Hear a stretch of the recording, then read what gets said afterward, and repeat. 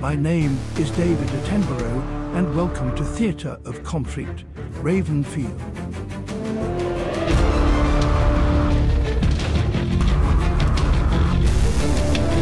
With two 20mm anti-aircraft clusters to open water ship in the Eagle Lake, with plentiful armor and a past 120mm main cannon.